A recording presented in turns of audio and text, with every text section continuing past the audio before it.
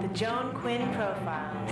As an editor for Andy Warhol's Interview, the Los Angeles Herald Examiner, LA Style, and Detour magazines, Joan covered the social set, the Hollywood hotshots, the international art scene, the mysteries of food, the excitement of travel, and the fabulous world of fashion. Joan continues to find creative people on the cutting edge who make things happen.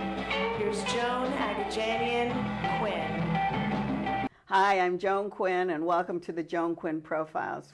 Waiting to be profiled are artist Richard Duardo and Dan O'Connor, who is the artistic director of the Improv Theater, and uh, you'll hear all about how to improv things. Right now, we're going to improv with artist, printmaker, director of modern multiples, Richard Duardo, who was born and raised in Boyle Heights. He went to Franklin High School and he was in UCLA's art department. Our friendship goes back to the 80s, which I hate to say, with Warhol and all of the graffiti artists. How are you associated and how did you get to meet those people like Keith Haring and Jean-Michel Basquiat and Futura and Fab, Fab, Fab Five Freddy and Kenny Scharf. And Richard Hambleton, remember him? Yes, yeah. I do, and on and on. Yeah. But you, you were born and raised here on the east side of town. Yeah, I, well, you know, once I started to make enough money to travel, you know, the touchstone for every wannabe artist is you've got to go to New York, right? And is that what you were thinking? Because you were making prints at that time. Yeah, I think we started with John Van Hamersveld, mostly graphic designers, Mick Haggerty. Fantastic people that we knew here too. Yeah, and John, I know, approached me. I think the thing that brought me to the attention to the art world at large is when uh, we did the MoCA poster when MoCA was just a concept, Oh. a promotional piece for the MoCA. I don't know what they were. They were. Your, your graphic studio did it? Yeah, we did uh, 500 prints to propagate this whole notion that it's time for a contemporary museum since the Norton Simon had closed Uh-huh. and was the, the go-to museum that was showcasing, you know, what's going on in contemporary art. I remember seeing the Marcel Duchamp show there that Oh, right, in Pasadena. yeah, right. when I was a kid, and it just turned my head inside out. Anyway, John Van Hammer said Van Hamersveld was part of the advisory committee. And I know there was about 150 artists involved, and I was already downtown. So I said, John said, we need to push this concept. So I said, well, we'll do a promotional print for you guys. I think we did 500, and they just went out. And who, who designed them? Did those guys? John did. John designed them, and you printed them. But you wanted well, to I guess I published them because I paid published for them. it. Oh, yeah. excuse me. Is Yeah. that the Well, print- Let's talk about that. Well, the printer, if you're, if you're just a contracted printer, somebody gives you the money and Yeah. you reproduce or Oh, then you, you're the publisher? and when you pay out of your own pocket, you are the publisher. You're the publisher. So I was the publisher and the printer, Okay. physically. Okay, I got a physically printer. Okay, so you made enough money in your print shop. and you went career- back east. Right. And how'd you get these introductions to these people?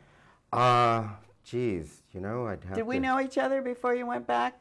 Or did I meet you No, I didn't meet you till probably around 83, 84, in, that little yeah. window of all that club stuff going on. And the- Robert Downey Jr. getting crazy drunk at And Matt Dykes, Yeah, uh, uh, Flaming Colossus. Oh yeah, Michele Lamy and the twins, the French twins, Right. Nicholas and yeah, I was basically Power Tools. Power Tools That was this, that was another club. and Cafe des Artistes. Right. Okay. So that's where we. Yeah. But you already knew. Pretty like much the everybody. graffiti artists, and you knew the scene here. No, I started in the LA punk scene doing flyers and posters like Richard uh, Raymond Pettibon was doing. Oh, oh, oh. But I mean, you knew the guys in the East. Oh, well, not till maybe, well, Yeah, the actually, 80s. well, I met, my first trip out was, I graduated out of UCLA in 1976, and I went immediately to New York. Oh, you went right away. Okay. And then I met some people, but I guess you could say, I mean, great people, but you would, there's not a name I could drop. But about two years later, after I started my, my print studio, uh, I had done enough work, and I started apprenticing for Jeff Wasserman, who was a Gemini master printer, who where that's when I started to meet in my apprenticeship Ed Boucher, Ed Moses, Hockney, oh my God, Billy Al Bengston. Oh, I got Remember it. that? Yes, the early of 80s? course. Because uh, Jeff Wasserman had left Gemini and opened his own studio in Santa Monica. And I begged to work for free because he was a master. But were you going to be a printer? You were going Yeah, to be that's an what artist. I Oh, wanted you to be a wanted master printer. I had see, I, I see. never had any designs or desire to be. I think that I thought at the time after I got out of school, UCLA, I thought this is a suicide path. To I be mean- an artist or to be a printmaker? well, you, you know, statistically, I did the research. It's like the whole art world, to be a successful artist, is predicated on 89% of the rest dying in the trench. I don't think so.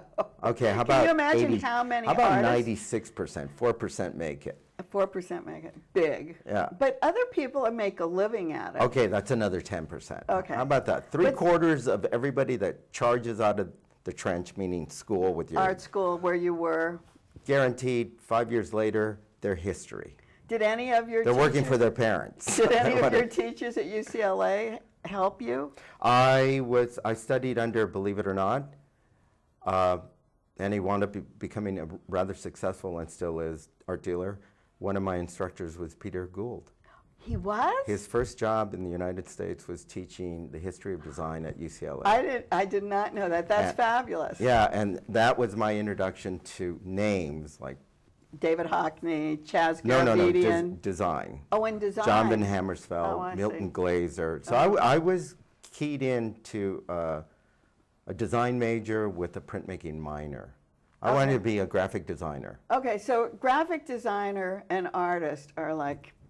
Yeah. you- they both think the same way, but they both do different things. Yeah, one, one is considered in the commercial realm, and Right. the other one is pursuing the, uh, Right. the noble path of, Of fine art. yeah. Of fine art. But you encompass both of those. Yeah. Well, yes. Yeah, because And I you think- work with artists. Yeah. And, And you're the master graphic person because when an artist comes to you, do you tell them how you want to print it or No, what no, you're no, going to no. do? You know, I, from my apprenticeship with Jeff Wasserman, that's why I was wired as a printmaker. Was that uh, I learned from Jeff is you're uh, you're just a tool, Ah. and you have to defer any notion of incorporating your ideas. You're there to serve an artist that wants to take your skill set and realize an image, and you've got to get your ego out of it. And I bought that.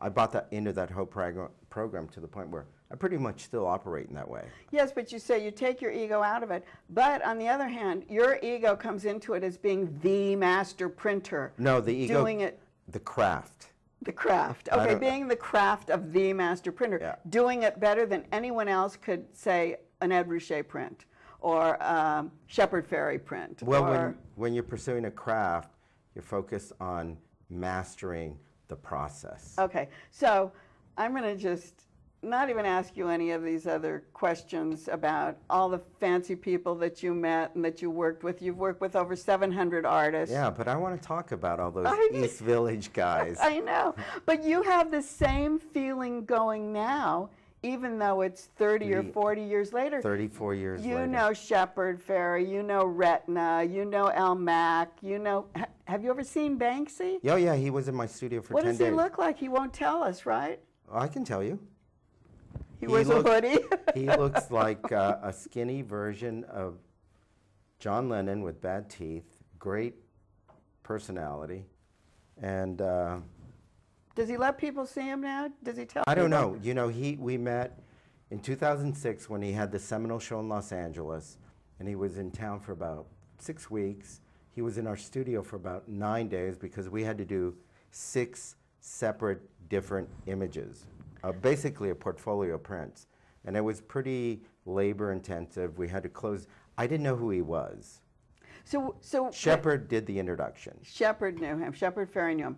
Okay, so when we were talking about the Warhol days, those guys were called graffiti artists. These guys now are called street artists. Is that a Street- different? What is it? urban art. I Urban guess it's art, been street artist. rebranded for to make it more palatable for the collectors at the uh, auction houses. But I- it's urban. Uh, it's urban, but I met I, I met with you up at the Getty Retna, Right, right, right. and and so you're friendly with this whole new group of people as well as the other 500 or 700 artists that you've worked with. Yeah, well, I think it- Fine artists, It's an say. interesting thing that now that there's a perspective of like 35 years, I've seen cycles Right. of generational cycles of artists come through our studio because they're riding.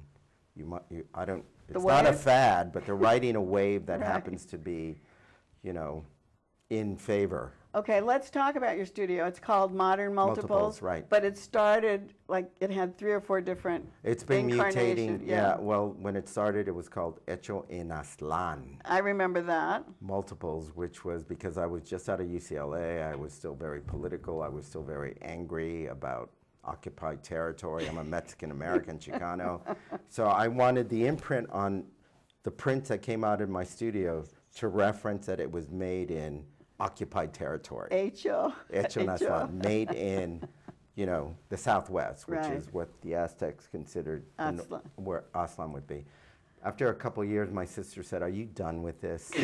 Because people are it. having a t- hard time writing the check out for our services. so I said, "What are you suggesting?" She said, "Let's cut it down to Aztlan multiples." I said, "I'll give you that." Oh, that was and it. then two years later, she said, "Richard, I know what. Let's call it multiples." Oh, she she's the one who's been pushing. the motivating. She so, was my studio manager for So then seven it's modern multiples. Well, in about 1995, I said, we've got to retweak ourselves. so we added modern multiples. Okay, so so how do you make this into a business? Uh, like charging people for what I do. God, really, I don't do it for free. Although No, I would we say, know you did do a lot of charitable work. Oh, and yeah. You've worked for museums and people who artists who and, couldn't and afford artists, to I come. I, I'd say what we've been doing for the last 35 years, probably 30 to 40 percent of our production I underwrite Is or that I publish. And Oh, about well, the if you publish, it's good. If Yeah. you'd published all of these 700 artists, I'd be broke. Or I. oh, you'd be I broke or you'd be a millionaire. Uh, yeah. Well, I could have been a millionaire a couple, couple times over already. Wait, But so I am- what's the difference? Well, uh, the people that I publish, which is consumes about half of what our, you know, Mm-hmm. annual budget is, uh, which I'm talking about maybe about 180, 200,000 dollars a year of the money I invest in those artists. I would say 60% of them we can't sell their work. We can't find an audience. Is that right? Well, because That's we, a big percentage. Well, because I take a big risk. I don't go after brand names. I go. I. I've anchored myself way from the beginning. I wanted to. I always thought, you know, that between Gemini, Cirrus, Mm. uh, Crown Point Press, they had locked down all the blue chip artists, brand names. So you and it was all about them. making money. And I thought, all these generations that are coming out, they're being ignored. I have a print studio. I'm not a dealer, and they've got ideas that, why you know, I always thought, why isn't Gemini printing or John Milan? uh, Well, you know, I don't know what major studios were here in LA. I, I only can think of those two. Studi- yeah, no, that's right. I thought, uh, although Fred Hoffman started that, But but none of them have gone. None of them have stayed. Oh, Gemini and Gemini is now stayed the, like you've stayed. Well, I would say now, I'm very proud to say I never imagined this 30 years ago, but I am the third oldest print studio in Los That's Angeles. what I mean. So you've stayed. You have staying power. And my, my position in that whole realm of printmaking studios is I've always gone after young emerging artists as a publisher. And that's what we did today. You're working in my world. Yeah. I wanted you to shine, and it's all over. Yeah. Thank you very much. My pleasure. Don't go away. We'll be right back with Dan O'Connor.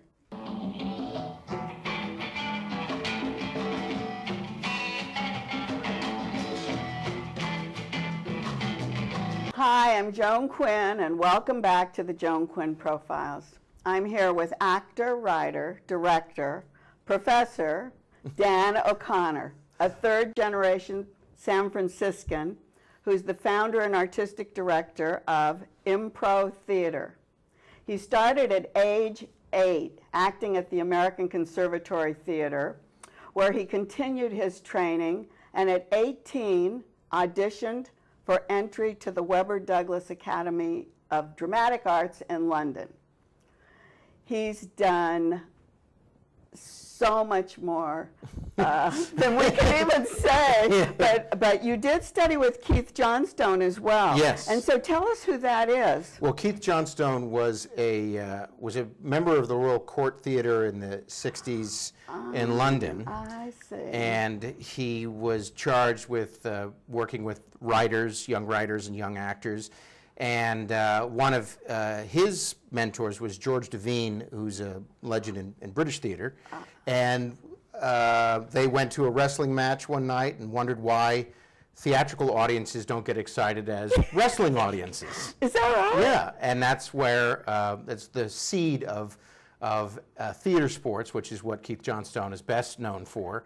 Uh, he later moved to to Calgary, Alberta, Canada, and was a, a drama teacher, a professor at the University of Calgary for years. And um, theater sports was uh, initially a, a way of getting actors to be more visceral in scenes and to be uh, and to help them create stories. And- Theater sports. yes. That's what you said. So you you said that he had this method of teaching, and you taught yourself at University of Texas, UCLA, Duke, Pepperdine. Did you follow when you were teaching those classes? Did you follow what he taught you? Well, the kernel of, of what I uh, learned from him and learned doing theater sports in San Francisco in the, in the late 80s, uh, we, we had to kind of teach ourselves. We, we had been, we'd been taught theater sports, and then the person who taught us went off. And so we came up with all of these new and different ways to do narrative-based improv. So it- when I when I've taught at these different places, like the MBA program in Texas, we're using improv games to teach business people how to communicate. Oh, that's right. It was in the business department. Yes. So you had to get them to be comfortable with audiences, I guess. to get them to be comfortable with audiences, also every interaction is a story, and that's something that people forget. But uh, the, somebody who's doing a sales job is basically improvising all the time, and that's what we we taught to these very very smart people at the University of Texas. I know, but now that you're saying that, sometimes you have these people come up to you and you you know that it's just so such an act Uh-huh. And it's not improv like you're saying. It's like rehearsed and you feel like an idiot listening to them. Yes, when, when people are not authentic and when they're not telling the truth, it's the same thing in acting. It's the same thing I would tell an actor that I was directing, is if you're not truthful, nobody's going to believe it. It's the same thing whether you're selling widgets or performing Hamlet. Well, since the age of eight, I want to get this in because we've seen your acting and your directing on stages all across. So you know what all across the U.S. Uh, uh, we know what you understand about acting and how to make it authentic. And is that why improv is so dear to your heart? It is. I mean, I've had a very, uh, pretty good career, and and uh, in large part because of improv. I mean, uh, when you audition for uh, a lot of uh, features today or a lot of commercials, you have to improvise. You have to be able to uh, think on your feet and sell the product or sell the script, whatever it is. And so, improv more and more. Uh, I think is essential for actors, and it's only in the last 10 years that drama schools have really started to teach improv. Oh, is that And- right? Yeah, and when I first came to LA, uh, most drama schools did not teach improv. They didn't think it was necessary. And the thing is, if you want to be a successful commercial actor today, you have to be able to improvise.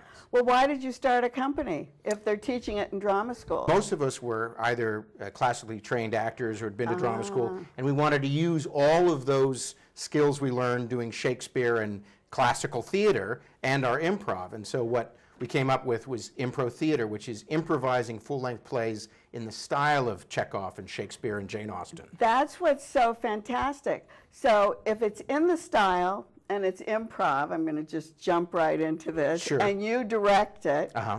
Um, how can it be improv if um, If I'm they don't directing have a script? A script. Well, it's it's completely improvised. We will say with Jane Austen, We read and watched as much Jane Austen as we could for three months, and Oh, then so it's just one group is doing, oh, Yeah. just your troop? just my troupe. I got it. I see. And so we're a theater company, but we don't have a script. So you read everything about the About classics? the, about the author, if we're doing, like we're doing Chekhov and Twilight Zone in the fall at the Odyssey. At the Odyssey, right. And we read and watch as much Twilight Zone and as much about Rod Serling and as much about Chekhov. And then we're doing them in rep. We're not doing them on the same night, but we get a suggestion from the audience and then do a completely brand new Chekhov play or completely brand new episodes of Twilight Zone. No, you get a suggestion from the audience? Yes. Then the audience doesn't have to know Chekhov. No, they don't have to know Chekhov. Or they don't have to know Jane Austen. or- No, no. In fact, my greatest oh. victory is girls bringing their boyfriends to see Jane Austen and the guys having just as good of a time, even though they know nothing about Jane Austen. So- Well, do you stay true to Jane Austen? oh yeah, we're in full full costume for both for all of our shows. The, there's a set. Uh, there's sound design. Uh, there's improvisers in the booth because we don't know when the scene's over, so we have to sort of have an improviser in the booth who's able to bring down the lights when that scene is over. Okay, so you're directing. Yes. But they they have no idea what they're going to be doing. So how are you directing them? Well, most of my directing comes in the three months leading up to the opening the show. Oh. It's about making them familiar with maybe stuff about uh, Chekhov or Rod Serling that they otherwise wouldn't have known about, uh, and making sure that people are playing inside that world. Because we're not doing parody. It's not. It's not. Uh, if we were doing like we do Tennessee Williams as well, and uh, most people when they improvise Tennessee Williams talk about mendacity, the heat, and Right. and call somebody sister woman, and that's about it. But we're trying to dig deeper and do something that Tennessee Williams might have written. Uh, so it's a much more challenging thing. So you you during the play, Uh-huh. are you there on stage, backstage? Uh, I'm I'm a performer as well, so I'm you're- I'm in the show, and I try not to direct during the show. well, that's what I mean. But Yeah. don't they look to you to direct? No, they're all very, very talented professionals um, who, uh, early on, I think probably I, I, I made the mistake of saying, you should go in and do this. But we figured that out pretty quick that that doesn't work because everybody's got their own idea of what's going on. And so once the play starts, everybody is the director.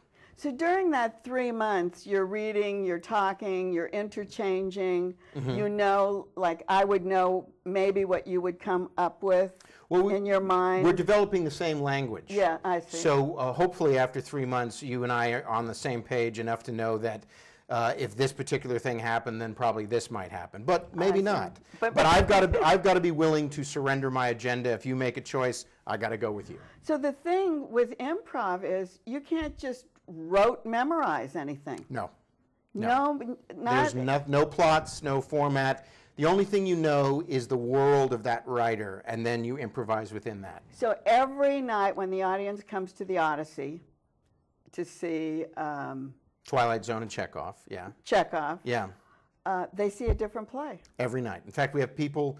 We had a gentleman come last year to the Odyssey, and he saw 25 different shows. Kept, kept coming? Yeah, kept coming. There was a number. And what did he say? Did he did, did he like one better than the other one, or what well, happened? he probably had favorites. I didn't ask him, but he he said we have a couple of regulars actually who will come to 10 and 12 shows during the course of a run because, and this is my favorite line, it's much better than staying at home. Every night they get to see they get to see a completely different play. It's the shows are not uh, horribly expensive or anything, and it's completely different. And there's 14 of us plus five guest actors. So on a given night, you might see me and six other actors, and then the next night you might see a different combination. But do you bring someone in from outside Uh, troupe? Occasionally, but they have to do the same thing with They the have- three have- months. they have to go through the three months. Yeah.